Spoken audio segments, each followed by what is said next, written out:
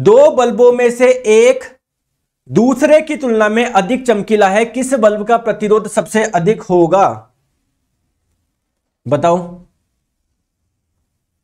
आप ऐसे समझो, जैसे मान लो आपके पास में दो बल्ब है, ठीक है? तो बोला जा रहा है, एक ज़्यादा चमक रहा है, कम चमक रहा है तो किसका प्रतिरोध अधिक है? तो ऑब्वियसली बात है, जिसका प्रतिरोध अधिक होगा, उसमें करंट कम जाएगी। जिसका प्रतिरोध कम होगा, उसमें करंट ज़्यादा जाएगी। जैसे आप लोग यहाँ पर देखो मैंने यहाँ पर देखो तीन आप लोगों को यहाँ पर देखो यहाँ पर देखो ये बल्ब थोड़ा कम चमक रहा है। देखो येल्लो कलर रोशनी यहाँ तक जा रही है।